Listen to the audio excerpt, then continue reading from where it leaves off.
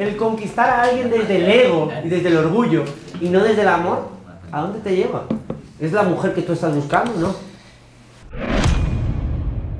Digamos cuando una persona con la cual uno está saliendo, con la cual salió o algo por el estilo, hace algo directamente con la intención de hacer sentir mal a la persona. Doy un ejemplo real. Eh, no sé, eh, estaba saliendo con alguien, todo iba muy bien y de repente todo empezó a apagarse. Eh, uno llamaba y no contestaba, cometía el error típico que alguna vez todos hemos cometido, que es decir, hombre, no, pues yo te había dado confianza, no es necesario que vos me dejes en visto. Ella pues comentó que no tenía tiempo, todo bien, yo tengo que viajar mucho por mi trabajo. cuando estaba aquí, perdón, cuando me tuve que volver a encontrar con ella por otro trabajo, ella, me, pues ella me dijo, estoy muy cansada, y yo, ah, pues uno pregunta por naturalidad, que mucho trabajo, alguna cosa, y me dice, no, es que ayer me quedé con un tipo hasta las 2 de la mañana, al cual llamé.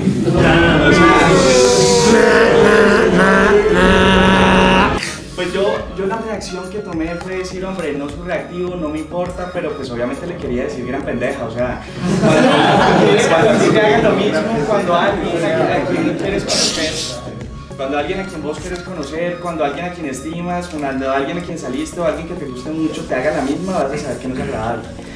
Pero no sé, casos como esos, vos has dicho que hay que fracasar en grande también, pero no sé, cuando hay eventos en los cuales uno no puede salir demasiado, cuando hay eventos en los que digamos, te tenés que encontrar esa persona muchísimo tiempo y esa persona hace algo directamente, o sea, con la intención firme para hacerte sentir mal. Pero por, no, para hacerte sentir mal no. O sea, pues, ten en cuenta una cosa, todos los eventos que les voy a poner aquí, todos los eventos son neutros. Te he leído la mente, ¿no? Bro, me lees Tonto, Todos los eventos son neutros. Todos. Lo que pasa que cuando una mujer te dice estoy con un hombre, tú te lo tomas de manera negativa, en plan, me quiere joder, y yo diría, cuando una mujer me dice que está con otro hombre, le digo, fantástico, soy libre, puedo conocer a otra. Literal.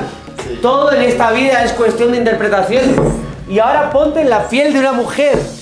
Claro, si tú le dijeses eso a un hombre, ¿por qué eso le dirías? ¿Cuál sería tu verdadera intención? O sea, es que pueden haber dos puntos. Uno, o que quiero que esa ley, o sea, como que entiende que es una indirecta o soy muy directa o dos. No, no es una indirecta, es una directa. o sea, lo siguiente que te diría es, no quiero estar contigo, pero a lo mejor no ha estado con ningún otro hombre, pero te lo está diciendo como una manera de, oye, estoy con otro hombre, estoy con otro man, aléjate porque a lo mejor no quiero seguir conociéndote. O también puede ser una opción de de, a ver si realmente tú quieres estar conmigo, o sea, que me lo muestres. Depende del caso.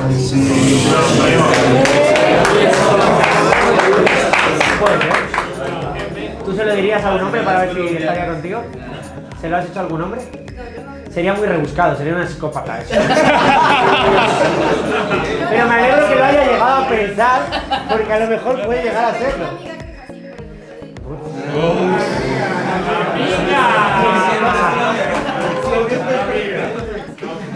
Menos mal que has dicho uno y no has dicho muchas amigas, que no es así, porque si no digo, pierdo las pelas mujeres. Lo importante es qué es lo que toleras en tu vida, y lo he comentado hace muy poco. Si una mujer te está diciendo que está conociendo a otro man, lo mejor que tú puedes hacer es decir, ok, fantástico. Yo lo considero como una puta falta de respeto. Si una mujer yo la estoy conociendo y me dice que no está con otro man, digo, que te Punto. ¿Por qué? Porque no tolero a mujeres que me quieran faltar el respeto. Para mí la, relación es una muestra de confianza. Y hoy ha sido súper honesta, porque me ha dicho eso. Y eso es increíble. Pero lo siento, tú realmente quieres estar con una mujer que cuando te está conociendo está con otros hombres. Al igual que una mujer quiere estar con un hombre que cuando le está conociendo está con muchas mujeres. ¿Piensas? Si la relación empieza ya así, ¿cómo puede acabar? La única forma de querer reconquistar a esa mujer es por tu puto ego. Para decir, hey, mi polla lo vale. La tengo pequeño, pero va a ser de dos metros. Mira. Pero el conquistar a alguien desde el ego y desde el orgullo y no desde el amor, ¿a dónde te lleva? Es la mujer que tú estás buscando, ¿no? Y para eso yo creo que es súper importante. O sea, el evento de Tony me vino de puta madre. Porque me permitió crear una lista de qué es lo que yo valoro en una relación. Y esto te recomiendo hacerlo. ¿Cuáles son tus valores en una relación? ¿Y qué es lo que buscas? Si te conformas con todo, tendrás nada. Sin embargo, si vas buscando lo más grande, tendrás la persona que buscas. El problema es que hay muchas veces que nosotros cuando buscamos tenemos una lista súper abierta de lo que queremos, pero a lo mejor es justamente lo que no nos llena. Si cuando nosotros buscamos de una manera específica, lo que buscas en específico lo acabarás encontrando. Esto es como ponerse objetivos. Si yo dices, quiero ser millonario, vas a acabar siendo siempre pobre. Como ayer decía, yo quiero ser millonario. Sin embargo, si dices, yo quiero tener un millón de dólares el 24 de febrero del año 2020, ya estás siendo mucho más específico. Y entonces vas a poder trazar un plan de acción. Sin embargo, si eres inespecífico no tendrás nada. Y ese es el problema de nuestra vida. Somos tan poco específicos en lo que queremos que nunca conseguimos lo que estamos buscando.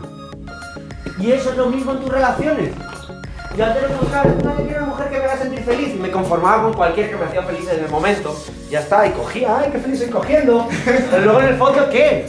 Como decía Matías, te sientes vacío. Porque cuando cambias la cantidad por la calidad, ahí es cuando te sientes completo. Y entonces yo empecé a definir a, a la mujer que yo quería. Yo, por ejemplo, tengo un mapa colgado en mi casa, justamente enfrente de mi cama, que es lo primero que veo cuando me acuesto y cuando me levanto, de cuál es el sentido de mi vida. Y tengo puesto, ¿cuál es mi misión de vida? ¿Qué, ¿Cuáles son los valores que tolero en mi vida? ¿Cuáles son los valores que no tolero en mi vida? ¿Cuáles son las acciones que deseo hacer? ¿Cuáles son las acciones que no tolero en mi vida y que no voy a volver a hacer jamás? ¿Cuál es la relación de mi vida? ¿Cuáles son los objetivos que voy a cumplir este año? ¿Y cuáles son mis tres yo sois principales? Entonces cuando yo veo eso, digo, wow, sé cuál es mi rumbo.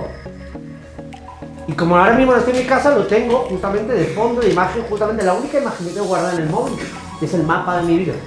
¿Para qué? Para que cuando me pierdo, volver a mi GPS y realinearme. Pero si tú no sabes a dónde vas, nunca llegarás a ningún sitio. Sin embargo, si tú al GPS le pones la información exacta de dónde vas, da igual el punto en el que estés, acabarás llevando al destino que tú quieras. Álvaro, yo quiero decirles algo de lo que está diciendo Álvaro, porque, o sea, yo soy un testigo, a mí me encanta todo el tema de las metas. De tener Vente aquí, vente aquí. Carito. No, bueno, eso es súper importante, eso de tener súper definidas las metas. Yo soy fiel testigo y súper, o sea, cada día como que digo, wow, o sea, es mágico cómo veo en mi vida que se cumplen tantas cosas. Yo tengo en mi celular en un audio de tres minutos y medio mi declaración de todo lo que quiero en mi vida, como de lo que tengo y lo que quiero como si ya estuviera. Estoy tan feliz y agradecida que yo, Carolina Tapia, me ganó esto al mes, que yo, Carolina Tapia, le compré una casa a mi mamá, que estoy tan feliz y agradecida porque gozo de paz constante, hago, o sea, todo lo que quiero y el hombre de mi vida, ahorita lo que, lo que decía Álvaro, y eso hace tres años lo hice, describí exactamente, o sea, tengo todo lo que quiero. Y en, y en la relación lo describí, lo describí. Gracias a Dios por el gran hombre que llegó a mi vida, caballeroso, respetuoso, amoroso, emprendedor, líder, alegre, seguro, espiritual, exitoso, que te ama a ti Dios, que ama y respeta a su familia, por ser ese hombre de valores y principios, jamás voy a olvidar cómo me pidió matrimonio. O sea, lo tengo así y yo veo a mi novio, o sea, ya llevamos dos años y es exactamente el hombre que yo tengo. Y Un aplauso a eso. súper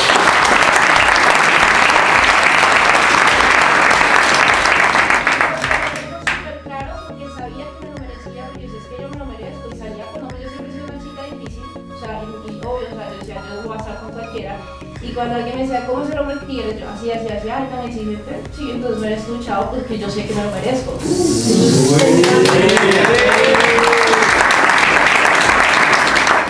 un tema de tú tener tus estándares súper claros.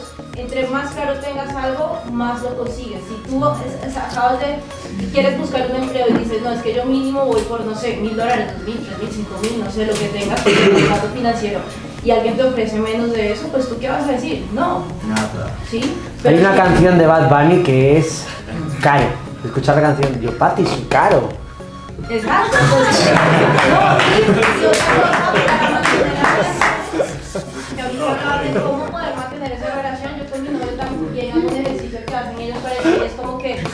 siempre nos preguntamos, hoy, hoy no, o sea, como que, oye, te enamoré hoy, tú me enamoraste a mí, porque es como esa búsqueda, no es como que ya lo di porque ya él o, o él me tiene, y yo siempre digo, no, tú sabes que yo soy como costacita, me encantan los detalles, me encantan Y él lo sabe y se esfuerza y me encanta eso, o sea, porque es que no es que ya somos novios y ya me tiene, porque se pierde esa cosa de como que sí, ya, la monotonía, sino como cada día nos podemos día a día sorprender el uno al otro. Entonces, eso quería decir de la declaración, tengo todas mis metas súper claras y como que me levanto ya siempre con ese propósito claro, ok, hoy me estoy alejando o acercando a mis metas, ¿qué voy a hacer hoy para acercarme a mis metas?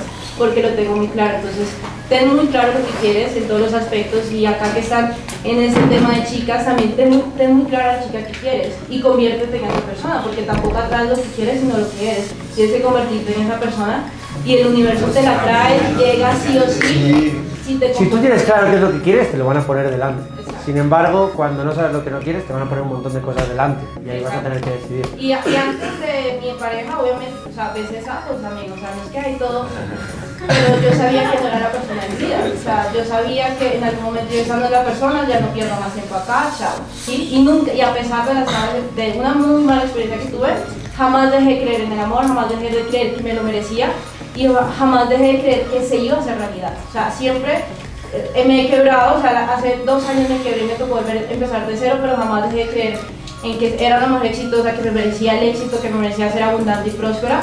Y, o sea, y, y por eso, o sea, gracias a Dios. Un aplauso.